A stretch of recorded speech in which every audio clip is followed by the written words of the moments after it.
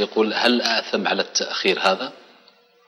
النكاح تجري فيه الأحكام الخمسة. قد يكون واجبا وقد يكون مستحبا وقد يكون مباحا وقد يكون مكروها وقد يكون محرما.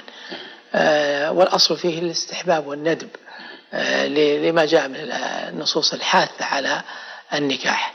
آه فإذا كان محتاجا ويخشى الوقوع في الإثم فهنا يبادر النكاح وتأخره المفضي إلى آه، العنت أو الوقوع في المحرم. مع إمكان النكاح إذا كان يفضي إلى محرم فإنه محرم. أما إذا كان يلحقه عنت فهنا حمل نفسه شيئا من الضيق والضنك الذي يستطيع دفعه بالمبادرة إلى النكاح.